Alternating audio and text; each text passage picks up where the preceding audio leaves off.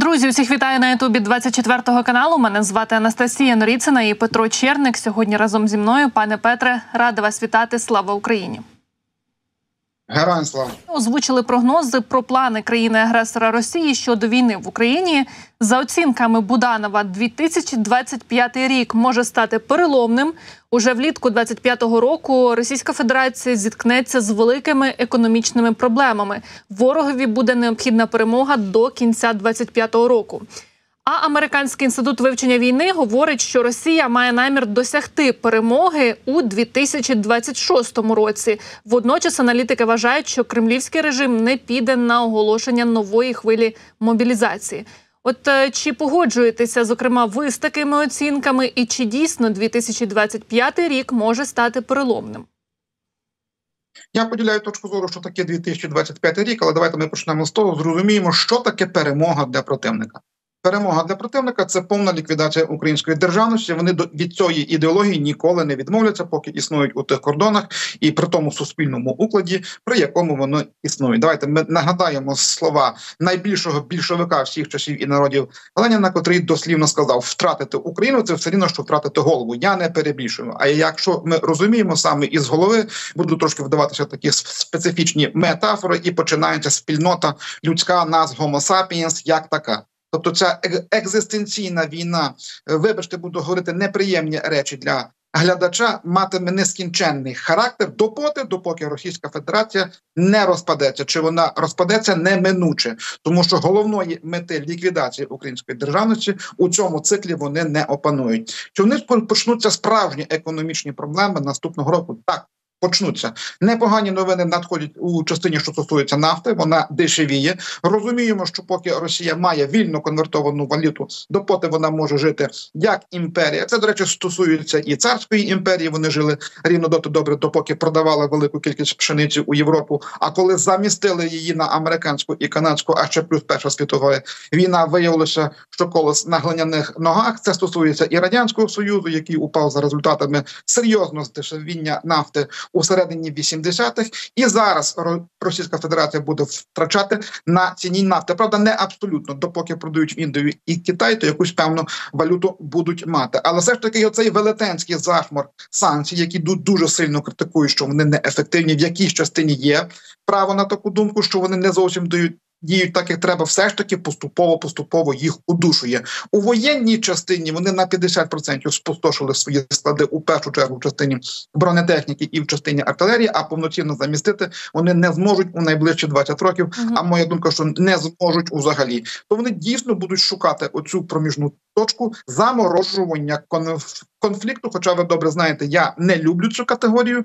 Я завжди кажу виход із тієї фази бойових дій. А якщо так, то яка їхня проміжна мета? Дуже зрозуміла і дуже чітка: вийти на адміністративні кордони Донеччини і Луганщини. Нам треба зробити все можливе, ба навіть неможливе, і ми, до речі, постійно виконуємо це завдання, щоб його зірвати зараз. У циклі цієї сухої погоди, коли зайдуть е, дощі, украй важливо утримати Донеччину тих межах, в яких вона є на 50% вона окупована, і утримати курський плацдарм. А коли вже вийде на фіналізацію процесу пошуки формулу виходу із війни, мій погляд, це буде весна літо наступного року. Наша переговорна е, позиція має бути дуже і дуже міцною. Чи можемо ми говорити про саме воєнні ресурси окупантів? Ви говорите, що вони також вичерпуються, склади їхні майже спустошені, але ж у них є Іран, є Північна Корея. От допоки вони будуть існувати, то по суті нам не варто розраховувати на те, що в Росії не буде зброї. Повністю поділяю цю точку зору, але я би не робив акцент на масштабованість і масовість. Е, е, якщо Північна Корея дійсно, скажімо, е, за останній рік це перевірені дані доправила до Росії велику кількість артилерійських боєприпасів 122 мм, 152 мм, ракети до БМ 21 Град і наймасовіший показник е, цього е, експорту, так його е, наз, назвемо. Це міни 82-го калібру. Вони дуже дошкульні у радіусі до 4, до 4 кілометрів, але цього всього замало. Об'єктивно замало. Потрібен такий собі тиранічний ленд-ліз. Отак я дуже по-філософськи висловлюся. Нагадаю, що під час Другої світової війни американці забезпечили радянський союз 22 тисячі літаків. Це дуже багато. 12 тисяч одиниць бронетехніки, 126 е, Тисяч тонн пороху із трьох мільйонів тонн авіаційного палива, котре було застосовано е, в радянській авіації, як мінімум мільйон тонн напряму поставили американці. А всі присадки були е, в тих інших двох мільйонах тонн, без, без чого повноцінно двигун внутрішнього е, згорання того самого П-39, який, до речі, також є американський, би не працював у таких масштабах. Ні Північна Корея, ні Китай не піде на допомогу Російській Федерації. Мій особистий по- погляд, що світові тиранії схиляються до того сценарію, щоб е, лінія розмежування, так як вона зараз є, так і залишилася. І тут направду є дуже велетенські ризики, бо в якійсь частині не кажу, що в абсолютній, а в якійсь частині це перемога тиранії. Чому Е, міжнародне право кінцево зруйновано? Захід не зумів вибудувати таку воєнну стратегію допомоги Україні, щоб вибудувати вибити ворога на адміністративні кордони 1991 року. А отже, для китайців це предмет для роздумів. А може таки вартує проблему Тайваню вирішувати. Силовим способом Мгм. Іран буде надавати зброю Російській Федерації, але знову ж таки не в таких великих масштабах, як це потрібно росіянам. Очевидно, що росіяни розраховують, що захід втомиться від України, і ця допомога припиниться. Але ось міністр оборони Нідерландів вважає, що повномасштабна війна в Україні не завершиться ні цього року, ні наступного. І він закликає союзників бути готовими до того, що Київ пот- потребуватиме довгострокової підтримки. А чи спроможний захід на цю довгострокову підтримку? А однозначно спроможні. В цьому немає ні не меншого сумніву. Єдина чорна лінія, яку вони ніяк не можуть переступити, це нескінченний блеф чи реальний шантаж. Я направду не знаю, де правда у частині, що стосується ядерної зброї. От все, що їх стримує. Ну і другий елемент. Ми також з вами проговорювали це питання. Давайте ще раз нагадаємо, це як. Перемогти у цій війні, щоб, щоб не розвалити Російську Федерацію, от цю дилему наразі ніхто не може розв'язати. Чи вона буде розв'язана в обов'язковому порядку? Ну, все ж таки, євроатлантичний світ це майже 50 трильйонів ВВП. Це неймовірно багато. Це, якщо мені пам'ять не зраджує, третина від усього ВВП планети Земля. Е, Одних ракет Атакамсу в американців на складах лежить до 4 тисяч. Та це космічна цифра.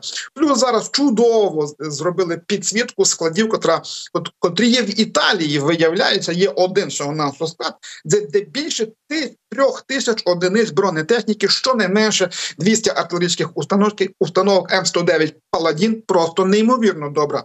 Гаубиця 200 установок. Їх можна зняти, розконсервувати, віддати Україні. І щонайменше 1200 е, одиниць прекрасного бронетранспортера, хай трошки і старенький, але просто чудовий М113, на який можна поставити М2 Браунінг, МК 19 автоматичний гранатомет, і це просто фантастична машина для того, щоб прикривати.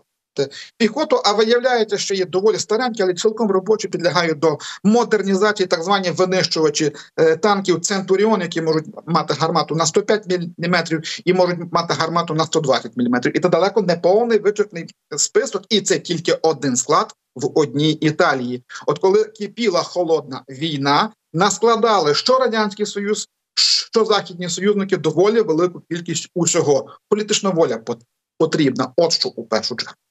До речі, The Economist пише про те, що чому Сполучені Штати не поспішають давати Україні дозвіл на далекобійні удари. Е, Бо, по-перше, британські чиновники припустили, що адміністрація Байдена не хоче ставити під загрозу майбутнє перезавантаження відносин з Москвою. А по-друге, у Байдена є страх перед російською ескалацією. Мене ось цікавить більше пункт про майбутнє перезавантаження відносин з Москвою. А то наскільки у них зараз ну погіршилися відносини, і на що розраховує захід справді у майбутньому? Та відносини однозначно погіршилися. Вони американці наклали колосальну кількість санкцій. Це для для, для Російської Федерації звичайно не є добрим, але ж дипломатичні стосунки не розірвані. Оце дуже важлива деталь. Тобто е, Путін не абсолютизований в частині зла, так як був абсолютизований Гітлер. Оце оце треба правильно зрозуміти. Вони все рівно бачать Російську Федерацію в тому вигляді, в якому вона є, геополітичним правцем. Вони розраховують тільки на одне: що рано чи пізно відбудеться перезавантаження режиму Путіна. Чи це відбудеться? Не маю ні не меншого сумніву. Питання лише коли чи це буде класичний палацовий переворот, що для них в історичному сенсі є абсолютно нормальною історичною традицією, починаючи від від Єлизавети Петрівни, котра перший цей переворот е, здійснила, закінчуючи тим самим Єльциним. Ну звичайно, він у прямому сенсі не робив перевороту, але тільки в 1993 році зрозумів, що є загроза від парламенту у частині зміни влади, розстріляв його, не задумовуючись, тобто в такому розумінні це також переворот до точки, коли там хтось з'явиться інший, і з цим з іншим вони готові розмовляти. На превеликий жаль, така геополітична дійсність. І тут є дуже важлива деталь. От Я трошки може відійду від від прямого питання, яке ви мені поставили, але воно десь буде пов'язане із тим, що зараз викажу. Ми приречені з ними жити поряд. Підкреслюю, приречені.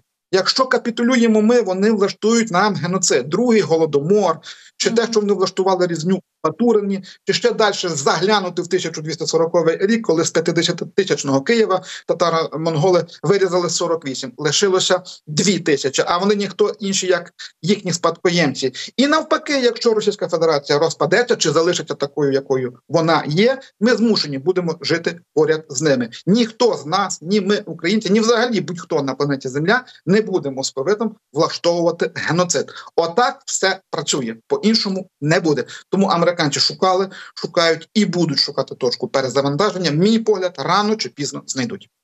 Президент України Володимир Зеленський пропонує свій план перемоги. В інтерв'ю CNN він дав зрозуміти, що одна з частин цього плану перемоги це погіршити життя всередині РФ.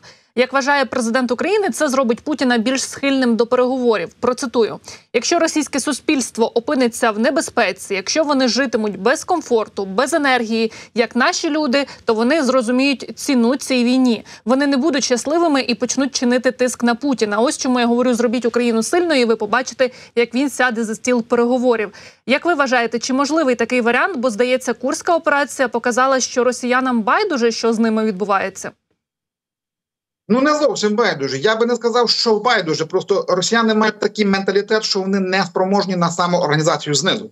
Історія не знає таких випадків. Деякі історики стверджують, що, мовляв, бідні більшовики організувалися і знесли царя. Тобто далеко не так, без велетенських фінансових е, вливань німецького генштабу у більшовицьку партію, а у першу чергу у Леніна і його оточення. А вони всі дворяни за походженням. Ну якщо не напряму, то із доволі заможних інтелектуальних верст не було б ніякого більшовицького перевороту. Тут є інший момент: чи треба тиснути економічно і погіршувати їхній стан в обов'язковому порядку? Чому це благодатне тло, яким може скористатися котрись із веж, котрась із веж Кремля і здійснити той уже сумнозвісний чи для нас благословенний. Ми вже про це говорили. Палацевий переворот. Отут, напевно, лежить формула успіху на цьому історичному порядку.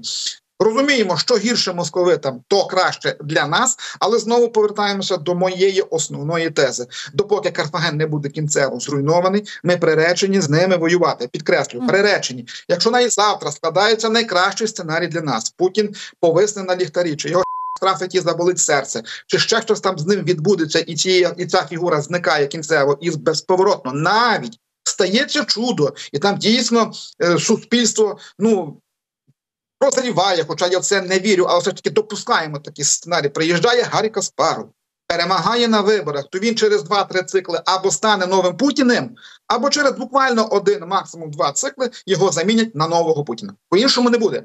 Там усе так побудовано. Оцю істину нам не. треба нарешті засвоїти. Тут президент е, Казахстану Такаєв заявив, що Росію неможливо перемогти на полі бою в Україні, а продовження війни несе в собі загрозу всьому людству. І він говорить, що хороший шанс був е, зупинити цю війну навесні 22-го під час стамбульських домовленостей. Однак говорить, вони не були укладені. Проте можливість досягти миру ще є. От як ви оцінюєте цю заяву? Ну і зокрема, те, що він е, вважає, що Росію неможливо перемогти. А як неможливо? Росію, до речі, купу разів перемагали на полі бою. Доволі доволі багато. Це все їхній ідеологічний наратив, який вони упроваджують у свою спільноту. Найперший випадок, який мені зараз спадає на ум, це війна 1904-1905 року з молодою імператорською мілітаристською Японією. Вщент вони тут ту війну програли, і це далеко не єдиний випадок. Можна її перемогти на полі бою. Питання лише кількості зброї, яка проти них застосовується, тактичної майстерності, мотивації і тому подібне подібне. Чому так рефлексує президент Казахстану? Це є ще одною ознакою того, підкреслюю. А зараз ми маємо за літо цілу низку ознак, що пошук формул даруйте, що я застосовую тавтологію. Виходу з фазу цієї війни почався. От і ще один аргумент на те, що в кулуарах іде серйозна робота над цим, і тільки 10% – це те, що ми бачимо. І от за цими пасивними ознаками або такими специфічними е, висловлюваннями і криється головна теза.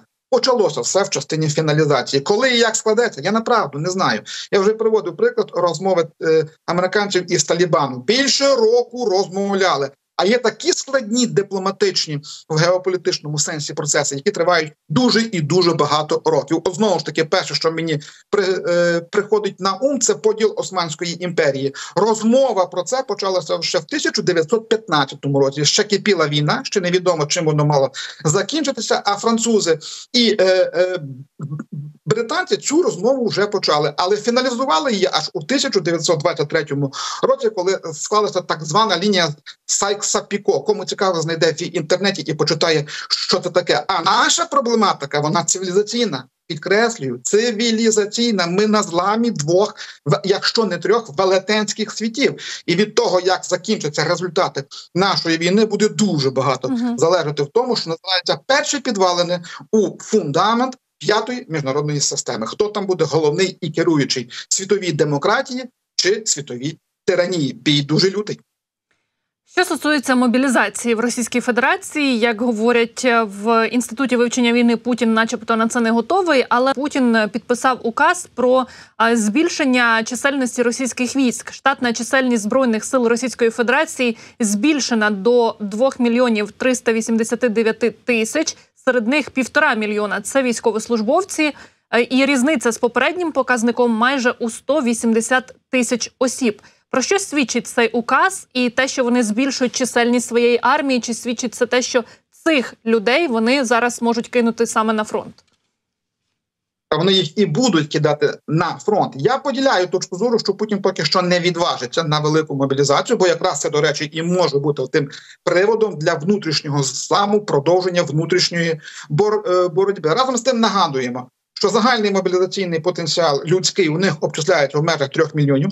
Всіх неугодних, хто міг якось протестувати, вони випустили ще у жовтні 2022 року. Це до півтора мільйона людей виїхало. А оці всі, що є, будуть іти на заклання як вівці. Будуть, от отак вони всі улаштовані, і в режимі 33-34 тисячі поповнювати сили і ряди свого війська. Вони зможуть. Тут єдиний момент на випередження це ми на кілька тисяч їх більше винищуємо у місяць, ніж вони ставлять до строю. Але оцей годинник синхронізується, що у них по-справжньому з'явиться е, критичний момент наповнення особового складу. Мені важко сказати, десь може. Десь може наша розвідка і прораховує і цю версію, тому так упевнено каже, що проблеми почнуться на літо наступного року. Ну але півроку бойових дій це ще дуже і дуже багато.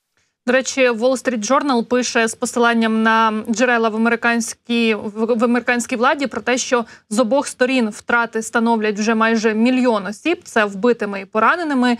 Збройні сили України, начебто, втратили 80 тисяч солдатів загиблими, ще 400 тисяч поранені. А от окупанти втратили 200 тисяч загиблими і ще 500 тисяч поранені. І також видання зазначає, що одна із мотивацій Путіна була розпочати цю війну. Це для того, аби збільшити чисельність свого населення за рахунок українців. Але ж ми бачимо, що навпаки вони тепер зменшують своє населення. Чи е, можуть ці цифри і справді бути достовірними на вашу думку? Вони мають право на життя. Достовірність цифр за результатами будь-якої війни перевіряється. Тут зараз буде дуже важливий момент через кілька десятиліть після її завершення. Підкреслюю, через кілька десятиліть. Першу світову війну досі не порахували. Підкреслюю, досі не порахували, скільки ж там вона забрала життів, чи 40 мільйонів, чи 45. До а до речі, ще є нюанс супроводу цієї війни. Скажімо, іспанка забрала в ті самі часи більше життів, ніж ніж забрала Перша світова війна. І Друга світова війна досі рахується. Локальні війни пораховані більш-менш точно, але ще таки локальні. Ця війна також вважається локальна, але в цивілізаційному сенсі вона дуже важлива. Тепер у частині збільшення населення та правильно вони це рахували, але вони розраховували, що за китком мангуста вони зуміють повернути всю. 35 мільйонну чи 40 мільйонну Україну, як вони собі усвідомлювали. Ми вже неодноразово казали, що московський імперіалізм без України неможливий. Так не сталося. А якщо так не сталося, то треба переходити до винищувальної тактики. Це і є пояснення того, що вони що зараз вони здійснюють ракетний геноцид за серпень місяць. Е, три з чотирьох ракет, які прилетіли в Україну, прилетіли про по е, соціальній інфраструктурі і по мирних мешканцях. Ну звичайно, я не мав жалю і не буду мати е, жалю до московитів і до окупантів як такого, але для них це доволі підривний процес. Таких втрат із часів Другої світової війни вони не мали, і це направду той фундамент, який може закласти у перспективі взагалі руйнацію Російської Федерації як такої. Але знову вкотре, а треба в тисячний раз повторю свою головну тезу.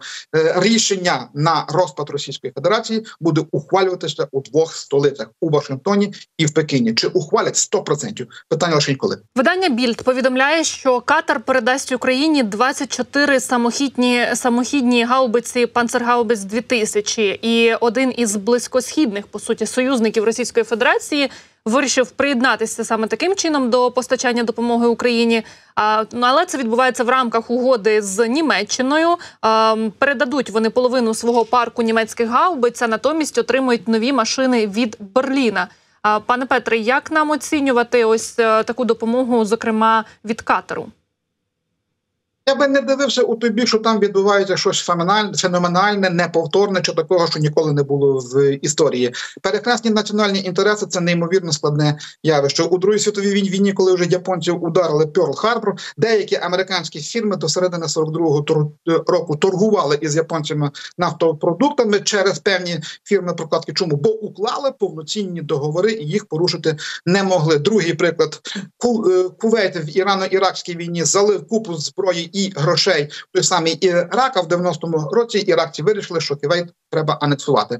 Тому це у моєму розумінні це лінійна новина в частині успіху німецької дипломатії, а не в частині е, успіху і доброї волі Катару, і що мовляв цю малесеньку країну, але дуже впливову, ми, ми вже змогли схилити на свій бік. Дуже добре. Кожна одиниця, котра поступить, не має значення звідки котра допоможе е, бити ворога. Вітається, вітається і ще раз вітається. Пане Петре, я вам дуже дякую за вашу аналітику і за те, що ви знайшли час долучитися до нашого ефіру. Бажаю вам гарного і спокійного дня. І нагадаю, що Петро Черник був з нами на зв'язку. Хто виступав проти операції збройних сил України в Курській області? Чому і чому можемо ми зараз говорити, що насправді все там рухається далі за нашим планом і цілі досягаються? Ну і про все погане для російської армії будемо говорити просто зараз. Ірина Узлова мене звати зі мною Олександр Мусієнко, керівник центру військового досліджень. Традиційно щодня разом із нами. Ми йому дякуємо. Вітаємо, Олександре. Привіт, рада бачити. Слава Україні!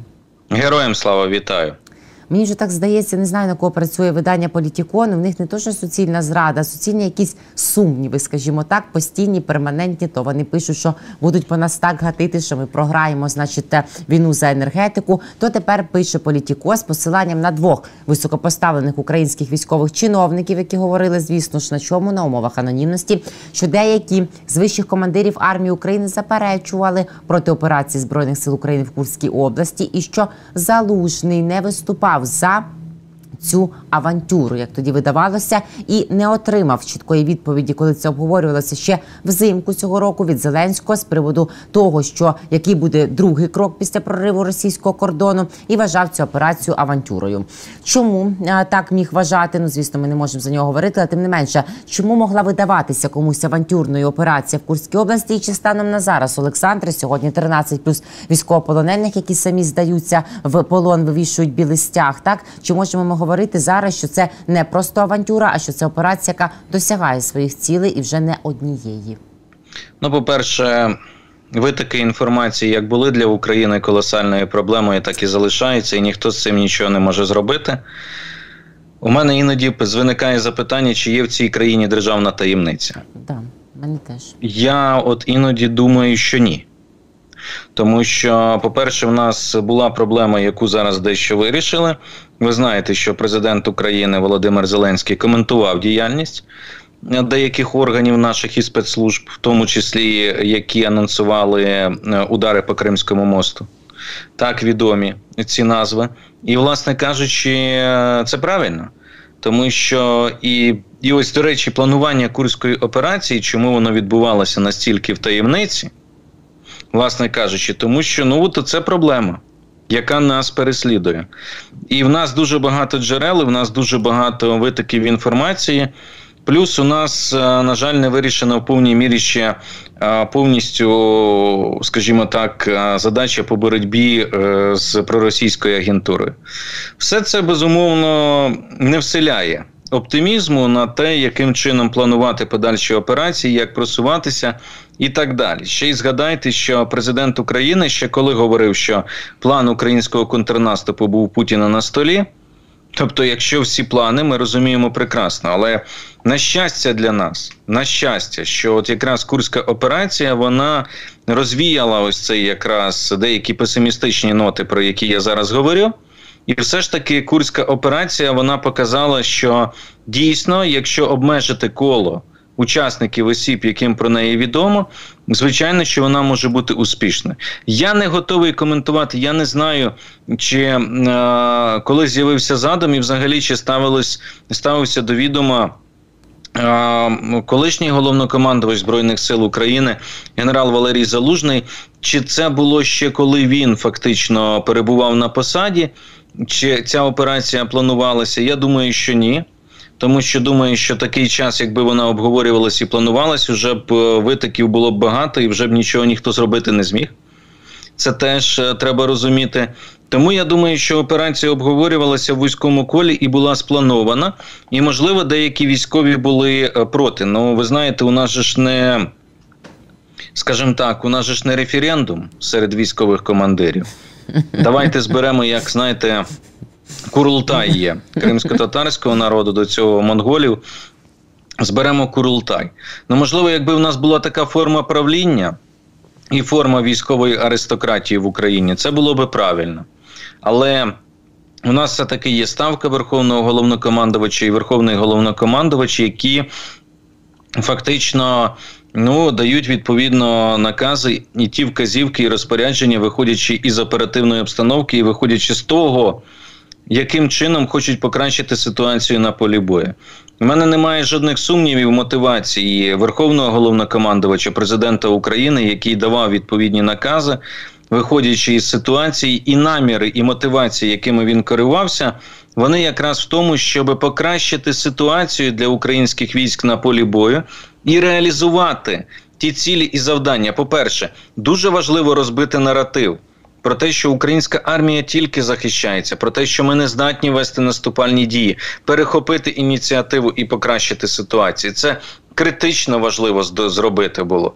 І це є другий момент це відтягти російські війська, скільки ми про це говорили. І це так само те, що відбувається, як би там не було, якби ці війська зараз були на сході, нам було би ще важче. Погодьтесь, це теж аргумент. Третє це повернути наших е, військовополонених.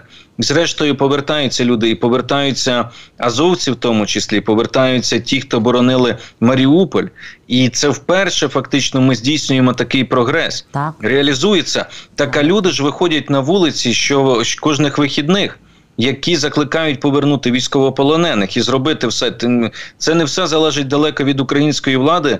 Не не ми їх полон віддавали, розумієте, але робиться все для того, щоб почути цих людей і теж дати відповідь і цим людям, які чекають своїх рідних з цих катівень. Тобто. Робиться серйозні дії, вчиняються, і зараз іде розбір.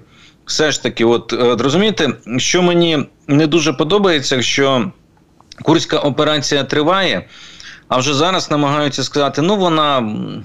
Ну, воно не те, воно не потрібно було. Ну, воно може вже не так. Хтось виступив проти. Можливо, виступили проти. Ну так розумієте, що е, рішення ухвалює Верховний головнокомандувач, і він несе і відповідальність, безумовно. Тобто відповідальність в тому числі несе президент як Верховний головнокомандувач, абсолютно, звичайно. Але він дає відповідні вказівки. І, а, тобто, те, що там політика пише про те, що командир однієї з бригад а, виступив проти і не захотів, а, можливо, в нього була така позиція. Але ви розумієте прекрасно, що якщо загальний задум ухвалено, якщо треба виконувати, то це рішення треба виконувати. І мені дивно, відверто кажучи, коли у нас відбуваються певні дії, які з боку військового командування чи можливих джерел а, дають певну інформацію, яка дає, скажімо так, можливості сумніватися в діях Верховного головнокомандувача. Тим більше, коли операція триває. Не думаю, що це йде на користь, і не думаю, що це покращує нашу ситуацію. Що це змінює зараз для Курська? От давайте скажемо: угу. окей, якщо відома навіть ця інформація. Я теж багато чого знаю, розумієте, і деякі неприємні Розумію. речі, але це не значить, що цим всім потрібно ділитись і все розповідати. Але скільки ми можемо говорити про ось ці витоки, постійно їх шукають, постійно їх перекривають, а вони все ще з'являються. А це загроза національній безпеці. Сьогодні є інформація якась для ЗМІ, де гарантія, що завтра ця інформація не піде прямо до ворога. І як ворог її інтерпретує і використає. А ви розумієте, що якщо ворог, як тільки ворог розуміє, усвідомлює, що десь є щонайменший розкол правлячій еліті, у військово-політичному керівництві, чи буде ворог це використовувати у власних інтересах? Звісно, ще як розхитувати, розкачувати, намагатись провокувати, закидати в різні месенджери, в себе там на помийках обговорювати. Я теж не розумію, для чого це. Ну але то, та, державна таємниця. Ви праві, ну, що починали ми. Так, так. От е, я ж тому і так емоційно сказав про державну таємницю, тому що слухайте, крім державної таємниці, є ще якась особиста відповідальність. Якби да. І я розумію, може, що в кожного помовчить. може бути своя думка. Але давайте ми будемо проводити всенародний референдум, можливо, чи опитування в дії. Проводити нам курську операцію чи ні? Ну, О, давайте, там настільки ну, диванних тобто, експертів. Ну, е, От знаєте, тобто, давайте доведемо до такого, чи давайте от з нас з'явилася армія, додаток, так, для того, щоб полегшити військовим життя з рапортами там і так далі. Давайте в армії зробимо опитування в додатку, там не в дії для військових, наприклад, да, де нам проводити наступальні дії на Такмак. На лівобережжі Херсонщини, на Білгород, на Курськ чи на Донецьк чи на Крим. Тобто, давайте проголосуємо. Ну, мабуть, теж не можна. Тобто, я до того, що публікація політика теж зводиться до того, що були деякі військові, які не підтримали і виступили проти. Ну, а, добре. І що ви тоді нам пропонуєте? А скажіть, будь ласка, всі рішення президент Сполучених Штатів ухвалює відповідно до 100% консенсусу? Не думаю. Ні, не думаю і я. Тому що він несе відповідальність. Ви можете скільки завгодно йому порадити і сказати: слухай, роби так або не роби так. Розумієте? А, Але завжди перша особа, як верховний головнокомандувач, яка ухвалює те чи інше доленосне рішення, несе і відповідальність. І кожне рішення воно ризиковане. Тобто, у нас така ситуація склалася, що так, а як тоді не ризикуючи, як спробувати досягти якоїсь е, перелому ситуації? Тому завжди президент безумовно він зважає. Він не втручається в планування безпосередньо операцій, як таких, тобто там переміщення військ і так далі. Безумовно, це для цього є генеральний штаб. Є люди, які на це вчились, мають професійний досвід. І в нас таких е, людей є багато на щастя для нас. І вони це роблять, і в це не треба лізти. Безумовно, їм це відомо краще, і нехай роблять свою справу. Але глобально ухвалити рішення про початок операції чи не починати її, звичайно, що це, скажімо, в будь-якому випадку. Зважуються всі ризики, зважуються всі за і проти, і хтось, звичайно, на ставці може сказати: слухайте, в мене інша думка, я там не підтримую, я там. Але це не значить, що ця думка може бути вирішальна. Тобто президент може дослухатися, може сприйняти її, проаналізувати і ухвалити власне рішення, таке, як він вважає за потрібне. Тому Власне кажучи, ми бачимо, що операція розроблялася, вона дуже детально, ретельно вивірялась. Вона, в принципі, виходила із е, е, планування організації і подальшої реалізації, те, що ми бачимо зараз. Ну і відповідно вона дає певні свої результати. І це вже теж факт. Які результати ми теж вже неодноразово е, обговорювали. Кужугетович Шойгу після того, як він поїхав з простягнутими різними своїми частинами тіла до КНДР, взяв їх і поїхав в Іран. Таке враження, що не Бог, а Путін його за щось карає, значить, Бог, напевно, теж. Він там уже сидить з усіма ручкається, дуже щасливий, з неоголошеним візитом, значить. Е, І ем, Олександре, за чим туди він поїхав? Уже ж балістика є, шахеди давно є. А що, а що ще просити? Що? Ну а, я думаю, що на сьогоднішній день треба враховувати ще й фактори. Тобто, ми аналізуємо переважно фактори того, що можуть поставити в Росію. Так. Ну ви ж не забувайте, що це дорога з двостороннім рухом. Що можуть поставити в Іран? І я, вибачте, додам, він зустрівся з президентом Ірану, не Так. з лідерами квіру, наприклад, Так. казали, може, та-та-та, офіційна влада. Дивіться, зараз є глобальна проблема і виклики для безпеки світу.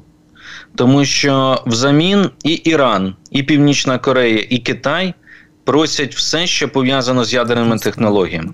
Кожен по-різному. Я вам приведу приклад. Наприклад, Іран просить посилення. Ну, для Ірана взагалі стоїть е, завдання найбільш там основне порівняно з Північною Кореєю і Китаєм, це взагалі отримати ядерну боєголовку. Якщо ще не отримали, ми не знаємо. Насправді достеменно є підозри. Сполучені Штати говорять, що ризики високі, що незабаром вони можуть її отримати. А що якщо ми вийдемо із ситуації, що можливо вже? Ну і власне кажучи, тому тут е, теж питання є. Що стосується, і на цьому тлі, звичайно, все, що стосується ядерних технологій, Росія з Іраном працює. Що стосується Північної Кореї, Північна Корея теж цікавиться ядеркою, тільки Кім замахнувся на субмарини. Йому треба підводні човни. Угу, угу, Він хоче підводні човни. понятно. Китай теж. Губа не дура. Але Китай хоче е, проєкт підводного човна Стелс технології атомного підводного човна. Це дуже серйозно. Ого. Тобто Китай хоче, щоб Росія продовжувала проєкт, яким вона допомагає. Коли Китай зможе кинути виклик, тобто глобальне завдання Китаю яке? Це кинути виклик морській могутності Сполучених Штатів Америки. Е, Відповідно, що для цього треба робити? Для цього треба дві речі. Перше, це спробувати переорієнтувати торговельні шляхи морські. Подивіться, для чого потрібні взагалі хусити, як явище в Ємені. Угу. Це ж комусь здається, що там, знаєте, якась банда терористів ненормальних просто бере і стріляє в торговельні кораблі. Ні. Ні. Вони хочуть підірвати ідею судноплавства через Суецький канал. І Китай готовий навіть пожертвувати власним економічним інтересом, щоби пролобіювати північний арктичний шлях, китайсько-російський. Відповідно, для цього що треба субмарини, щоб це захищати? Відповідно, ну, кидати виклик е, ОКУС, так, Союзу Британії, Штатами і Австралії. І це дуже загрозливі тенденції для Сполучених Штатів, в тому числі. Всі із них, всі три ці держави, так чи інакше, хочуть отримати від Росії компоненти і комплектуючі для зброї масового знищення, які мають кидати виклик а, Сполученим Штатам або союзникам Сполучених Штатів. Ну. Відповідно, вони хочуть е, переформатовувати глобальний світовий порядок на користь кого? На користь Китаю. Тому що це все багатополярний світ, це там глобальний південь, це я в це не вірю. Є на сьогоднішній день два Так. центри: це Китай. Сполучені Штати і їхні союзники, і є Китай. Китай, І ті, хто орієнтується на Китай. Все решта, це можна скільки завгодно жонглювати поняттями, знаєте там. Але погодьтеся, Саудівська Аравія це глобальний південь. Але з ким вона союзник в першу чергу? Зі Сполученими Штатами. Індія це теж глобальний південь. Чий вона союзник? Вона теж ближче до США. Іран це теж глобальний південь. Але до кого він ближче? До До, Китаю. Китаю. Тобто, і це, і тут уже цього е, і цієї поляризації не уникнути. Тому зараз оця вісь вона дуже серйозно вибудовується. І якщо ми подивимося з точки зору того, що ще можуть вони просити в Росію, ну з Ірану вони ще можуть попросити тільки ракети Фатех і Зульфагар. 300-700 кілометрів, звичайно, це мрії Путіна, я переконаний. Ну. Іран поки що, принаймні, ну не видно, щоб ці ракети постачались. Інформації нема. Тобто тут можна допускати, поставлять, не поставлять. е, Можна робити припущення, можливо, і поставлять, зважаться на цей крок, але поки що інформації немає. Принаймні виступав Пазишкіан. Я не дуже вірю, що він говорив, президент Ірану. Але разом з тим він сказав про те, що якщо в нас не буде ракет, то Ізраїль буде нас знищувати.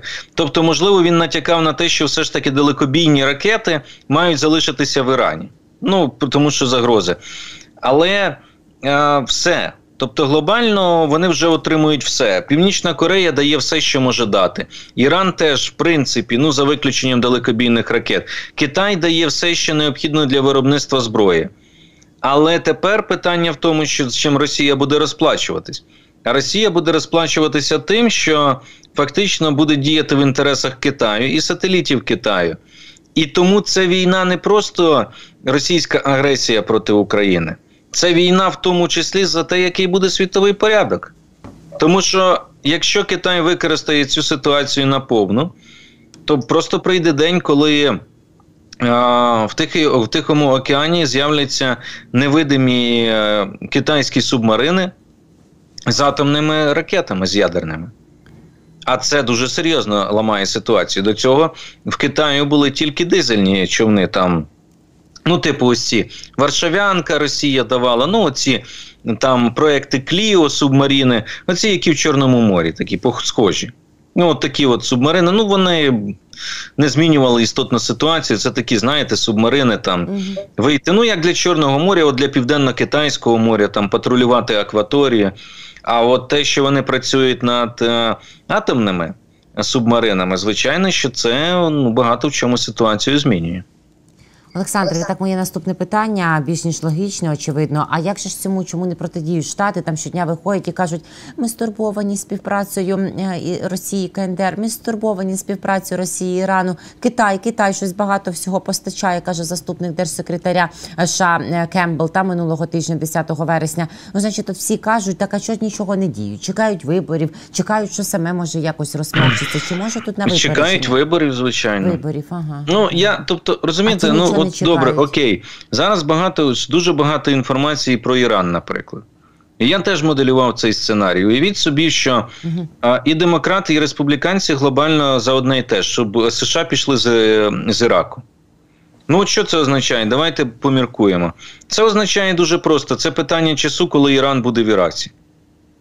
Коли іранська влада, проіранська влада буде в Ірак, розумієте? І Ірак буде на боці Ірану. Це питання часу, коли остаточно оформиться Сирія і Ліван у вісі Іран. Абсолютно. І що Сполучені- Штати зроблять? Це один приклад. На кого вони підуть тоді іранці з допомогою своїх проксі чи просто через ці території на Ізраїль? І це велика війна проти союзника Ізраїля в регіоні. Другий момент. Що потрібно Китаю? Китаю для того, щоб переформатувати безпекову ситуацію в Європі і переорієнтувати її з вектора Сполучені Штати на Китай, потрібна війна, потрібен катаклізм, потрібна ось ця катастрофа, яку несе російська агресія проти України. Відповідно, що це означає? Це означає, що це в американських інтересах ні. Далі е, я вже сказав про субмарини, не буду повторюватись. І тому дуже багато питань. Але послухайте, ну ви бачите, я привів такі питання доволі глобальні, які, можливо, не всі в адміністрації діючого президента знаєте, чи що їм скільки там лишилося. 3-4 місяці, ну там 4 візьмемо до інавгурації, яка буде в січні, бо коли новообраний президент прийде до влади. Ну для чого це ці питання підіймати? Тому вони готові зосередитись в випадку України, повертаючись до того, що нам болить найбільше. Що це означає для нас? Що якщо ми за таких умов зараз таки витиснемо, а я маю все ж таки надію. І оптимізм, що витиснемо, і візит президента знову ж таки із даром його аргументації і переконання він змусить таки партнерів наших Сполучені Штати, в тому числі дати нам право бити і джесами, які ми чекаємо для наших літаків, і Storm Shadow, і атакамсом вглиб російської території, і додаткові системи ППО. Ось це те, що ми можемо максимум витиснути. Плюс для нас зараз дуже важливо, що стосується нас, України, знову ж таки, питання допомоги. По-перше, нам треба 6 мільярдів, які ви знаєте. А Так, це питання це дуже взагалі? серйозне. Да, це Байден звернувся. Е, Добре, що він звернувся, звісно. Але ми сьогодні говорили з експертом міжнародником і політологом Максимом Несвітайловим. Так він не виключає, що ми вже їх і не побачимо. Ну е, я дещо оптимістичніший знову ж таки в цьому плані, все ж таки. І я покладаю надії на цей на цей візит Володимира Зеленського в США. Ну, побачимо. Але питання ж і наступного року. Тобто, це ж теж, е, власне кажучи, нашого забезпечення і закладання певних підвалин фінансових. І от, власне кажучи, є про що говорити, про що думати. І це ж так само питання. Тобто, я не бачу, розумієте, знову ж таки. Ну, дивіться, Іран той, же самий. Було повідомлення офіційно від офіційних органів США правоохоронних про те, що Іран е, втручається в вибори США і атакує сервери обох партій. Так, І республіканців, і демократів. Тобто, це без того, що Трамп може вийти і сказати: мене атакують, бо мене Іран не любить, а от Гарріс він не чіпає. Значить, Гарріс хороша для іранців. Ну, погана для Ізраїля, розумієте? Так. Ну, вони атакують обох. Ну і це ж теж. І тобто, але я не бачу і не думаю, що зараз буде дуже суттєва реакція в цьому плані. Це вже все ж таки буде вирішувати наступна адміністрація. Олександре, дякую безмежно за цю розмову. Цікаво, як завжди, за фаховий аналіз детальний. Дякую за ваші Дякую. інсайди.